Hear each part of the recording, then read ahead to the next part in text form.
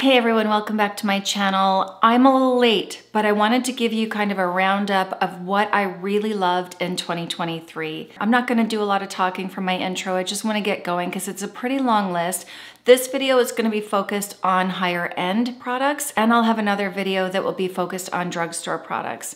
I don't know how I'm gonna do this because I like so many. And I'm not sure if these products were released in 2023. I really think that most of these are not new releases for 2023, but I just really started focusing on my channel in 2023, so they're new to me. First, I'm gonna start off with a tinted moisturizer. So my favorite tinted moisturizer is the Smashbox Halo Glow Healthy Glow All-in-One Tinted Moisturizer. I'm in the color light medium. I find that it gives a beautiful coverage and it lasts all day for me.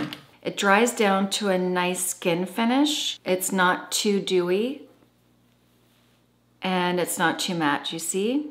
I love it. I've recommended this product to a lot of people and the feedback is wonderful. I wouldn't say that it's sheer and that's probably why I like it is it does give a good amount of coverage but it doesn't feel heavy. And it does have an SPF in it, but in Canada, it's not allowed to list that it has an SPF because of our guidelines. I'm not sure how much it is. I will check though, and I'll see if I can find out. If I can find it, I'm gonna put it on the screen here for you. My favorite stick foundation is the Merit Stick Foundation. This is the, is it the Skin Perfection? Perfection, hold on, let me find out what that is. The Minimalist Perfecting Complexion Foundation and Concealer Stick. I'm in the color Bisque when I'm self-tanned.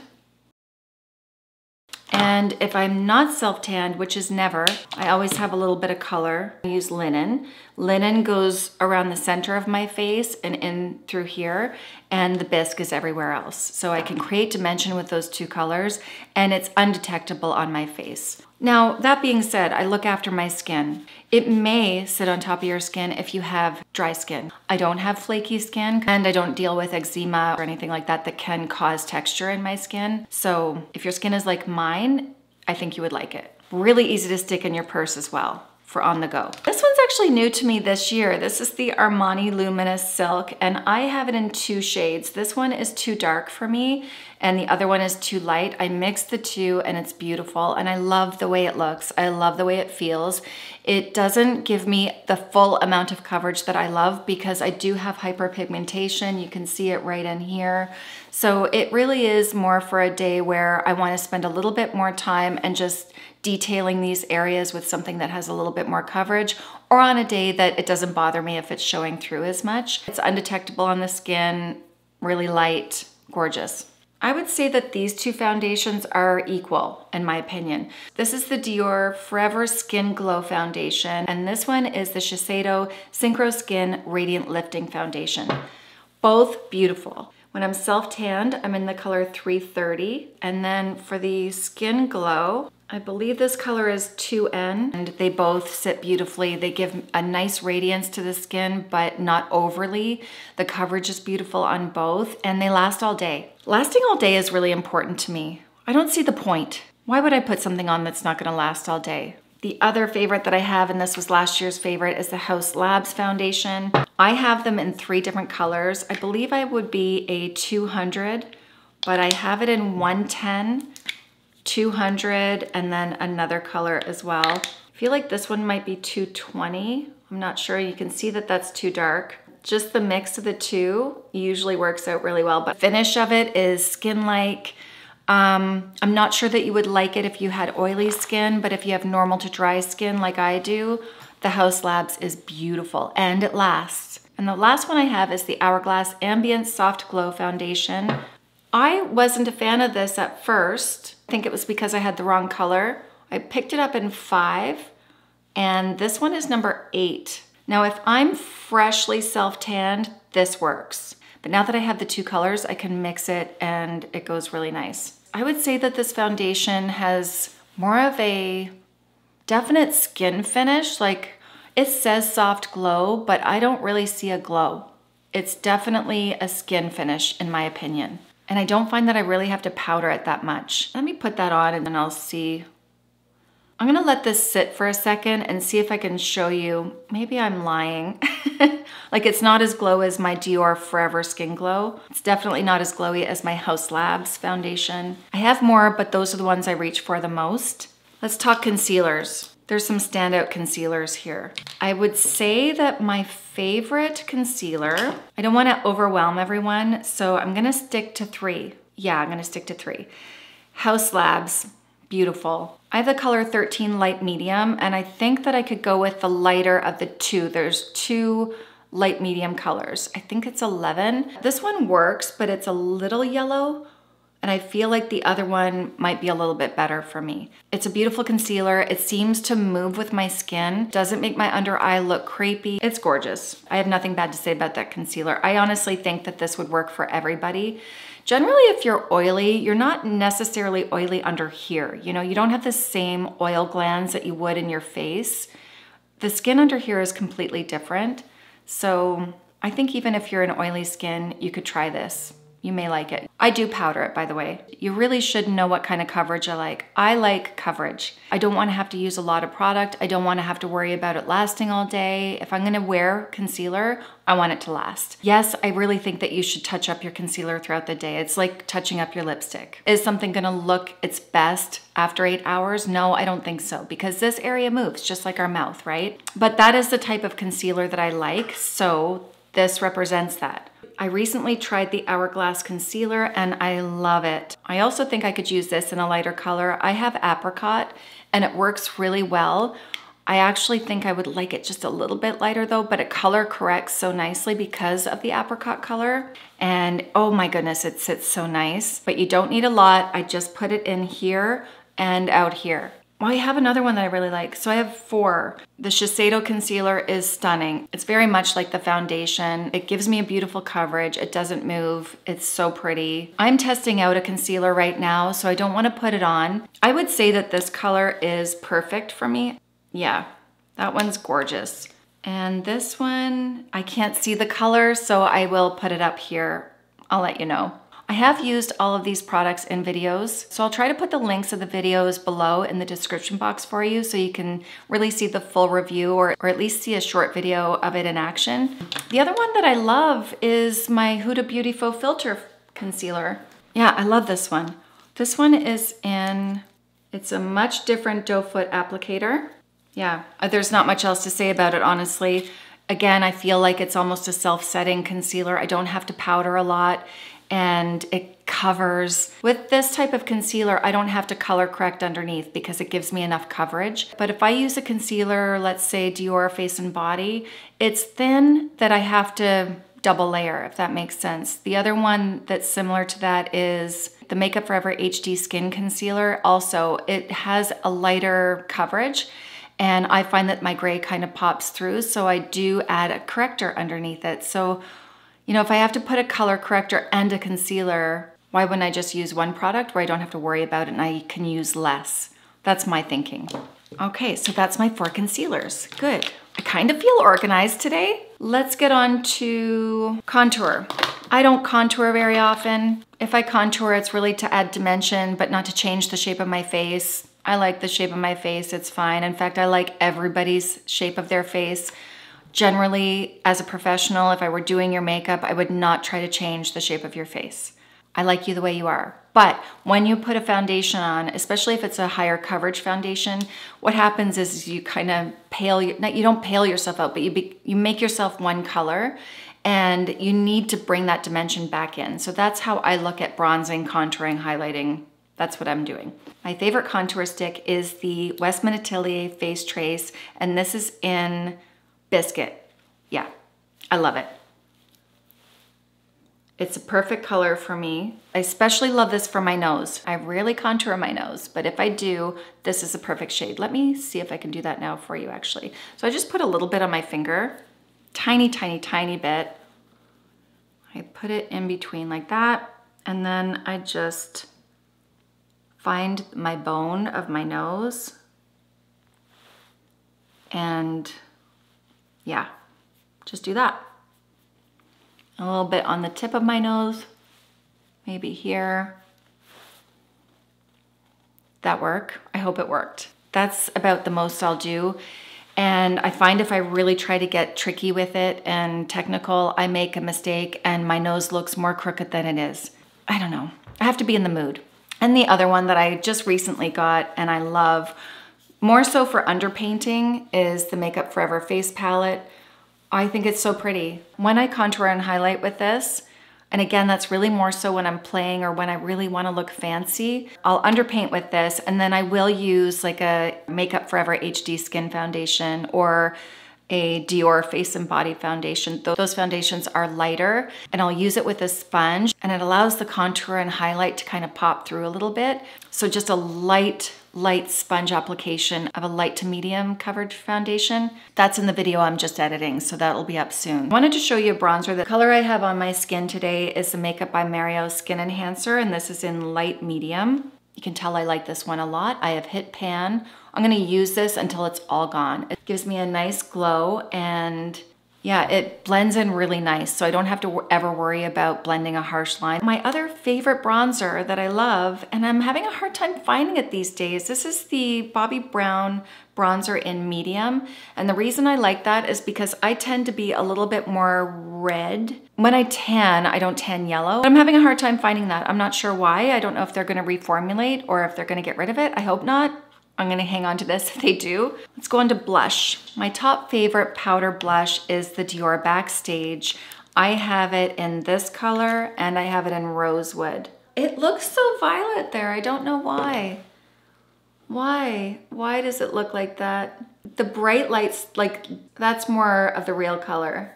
How strange. I would say that the Rosewood is what I go for the most. I actually use both of them quite a bit. This color looks more like you've come in from outside, that fresh, fresh, cold bite on your cheek.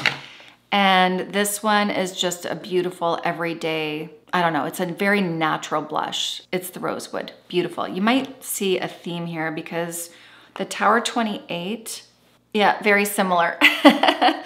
um, the tones are very similar actually in the Tower 28 and the Dior Backstage. This one is called Beach Please. Yeah, this one's called Beach Please. I wear this a lot. Oh, I wanted to show you. So this is Hourglass now that it's dried, the ambient soft glow. I don't see a glow at all. To me, that just looks like a skin finish. So yeah, I'm glad I did that. It's not my imagination. All right, so this is Beach Please. Really, really, really pretty. Let me put it beside Rosewood.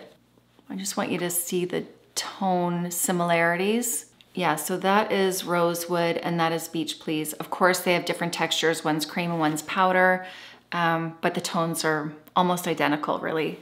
And the other favorite that I have is the Makeup by Mario. This is very similar too. That's Perfect Pink. Oh no, this one's brighter. Yeah, that's the best way I can describe it is it gives you that flushed look like you were just outside skiing. And my last favorite blush is the Rare Beauty. This blush is called Encourage and I use it, let's put it here. I use this one, oh, that's a lot. you don't need that much, obviously. I love the tone of this and I use it on my lips. Really good for travel because then you've got both. Favorite setting powders. Probably my all-time favorite this year. I'm gonna keep it really simple. I love the Haus Labs powder. It doesn't make me look dry at all. It brings down the shine, but I still look fresh. I would say that that's probably one of my favorites. However, I just got this one. This is the Easy Bake and Snatch by Huda Beauty, and this is in Cherry Blossom Cake. Again, I wish I could try it on for you. I'll leave a link to where I tried this out, my first impression. I've seen a few reviews of women my age who didn't like this, and I don't know why. I wonder if it's what they used underneath. Keep that in mind. Some products don't mix well with each other. So if you bought a product and it didn't go well, is it because it's a really bad product or is it because the prep underneath didn't suit the product? Or did you prep your skin well enough that's another question to ask. Or maybe the product just isn't for you. But I wouldn't have guessed that people wouldn't like this one because it is so finely milled, like it's silky soft. Anyway, I really like this one. The other one that I don't have in front of me is the Laura Mercier Blur Powder. I really like that one. And Hourglass Veil Setting Powder. Love that one too all beautiful. My daughter stole that one. I don't play around with a lot of highlighters. All this texture in here does not like a lot of highlight. So I'm very careful with my highlight. In fact, a lot of the times because I wear those dewy blushes or I use a foundation that has a glow to it, I don't need to add more highlight. So I have to be in the mood. I don't have any highlighter on right now and it looks like I do. So to me, it would be weird to add more. I don't need it. If I wanted to though, I've got a few that I really like. The powder highlights that I really love are by Bobbi Brown. This one is Pink Glow.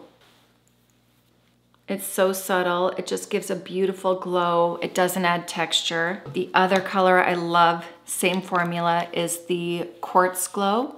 It's more of a champagne. So one has a bit of a pink, one has a champagne. The other one would be the Charlotte Tilbury Flawless Filter.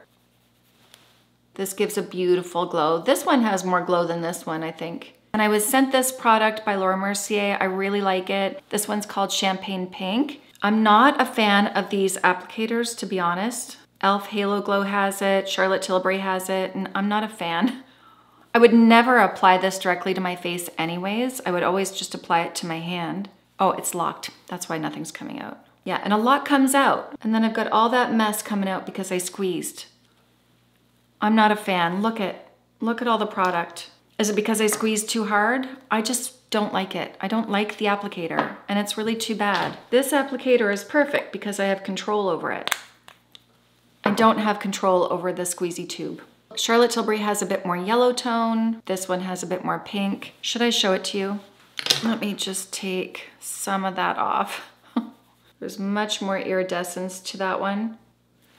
Very mirror-like. And that's the Charlotte Tilbury. So if I had to pick, I would pick the Charlotte Tilbury because I find it just a little bit classier, I wanna say. That's not a very good word. Uh, I just find it elegant. And same with the Bobbi Brown highlighters. I find them elegant as well. I'm sorry, I forgot the Patrick Ta bronzer. This has the contour cream and I do love that it has this cover. So we've got the contour cream and then there's the powder. Okay, eyeshadow palettes. Natasha Denona is my favorite for eyeshadows. I don't think I've ever disliked an eyeshadow palette that I've tried of hers, but this one is the best. This is the I Need a Nude palette and you're going to see everybody talk about this palette. There's nothing bad about this. My second favorite palette is by MAC and I have that on today. This is the, you'd think I'd remember the name by now. I just filmed with this. This is the Connect in Color Unfiltered Nudes palette and you pretty much have everything you need in here. You don't have a black, but you can get a lot of looks out of this. I would travel with this one for sure and maybe a black pencil. Now my new favorite one, the half palette that I was talking about is this one. This is the Natasha Denona. It's my mini dream palette. I already use this and I'm editing the video right now. It will be up. Oh, and that reminds me, the blush is gorgeous too. I'll see if I can put a little clip in this video as well. The blush is so pretty. So that would be in my blush section as one of my new favorites. That's it for palettes right now. I did purchase the Makeup by Mario Matte's palette. It's really pretty, but I chose those because they have both. And I always add a shimmer. Eyeshadow sticks, I love the Bobbi Brown eyeshadow sticks. I like the Laura Mercier shadow sticks. They work, they're easy. Another one that you can find on Amazon, I believe, is the Glo Skin Beauty shadow sticks.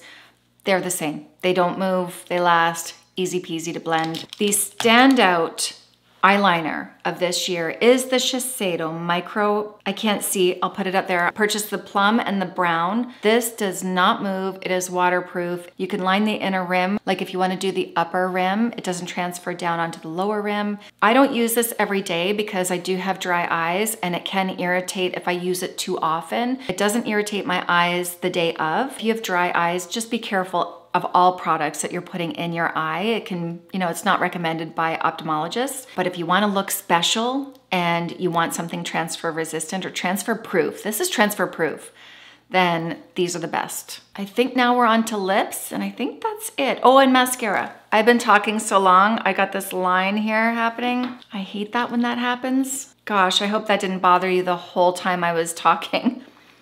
That would bother me.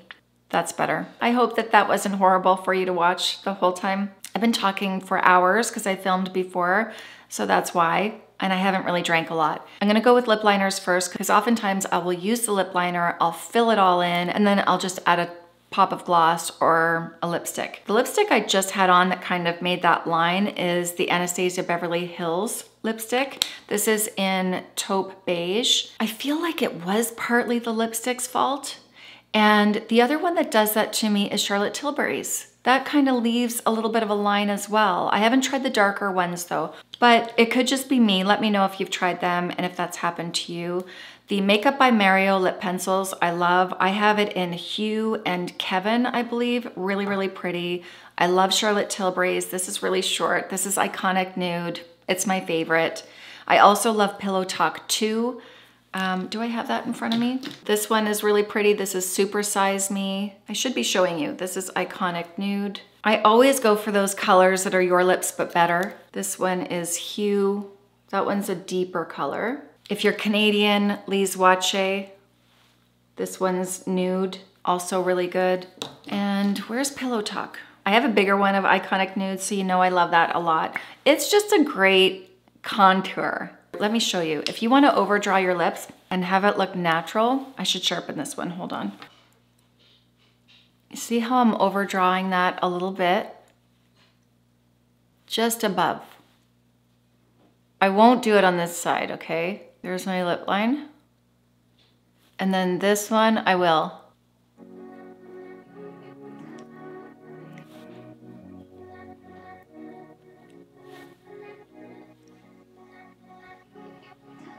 I'm just slightly extending it.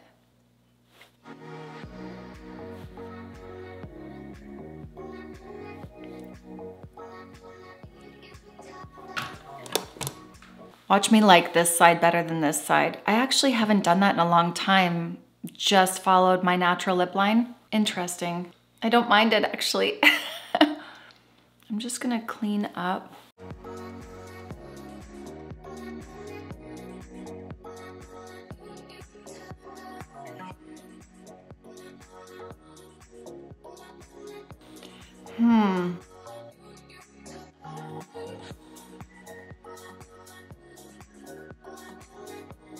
I don't know, different moods maybe? I think I like this side better and I went out and asked my husband and he picked this side. He didn't even know what he was looking at, but he chose this side.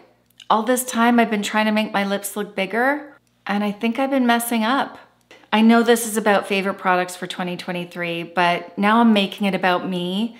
Which side do you like better? And if you like this side better, then that should tell us something because so many of us are trying to chase after that full plump lip, and that's what I've been doing for a long time. This is the first time in years that I've actually lined my natural lip on the line. And when I look at it, I think I like it better. Crazy. This is what happens, honestly, if you ever really want to judge yourself, as long as you keep it positive, do it on camera. I have learned so much about myself in the past year. I said that in another video, but I mean it. This is a whole different way of seeing myself. I'm gonna do the whole thing on my natural lip. Let's go in with Iconic Nude again.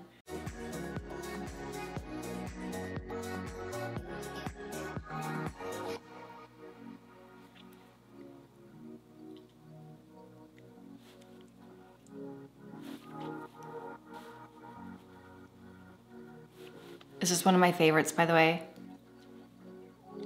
I think that looks better. I feel so silly. Wow. I'm happy, actually. I'm happy that I like me better than the overdrawn me. I am actually gonna wrap this up pretty soon because I've been sitting here for a long time. All the lip colors that I choose are very, very nude, all of them. I'll show more lipsticks in my drugstore video, I think, because I've been trying out a lot YSL is a new discovery for me. I love the lip glaze and I love the number 15. That's my favorite. I love that over any lip liner and for some reason it feels like it stays.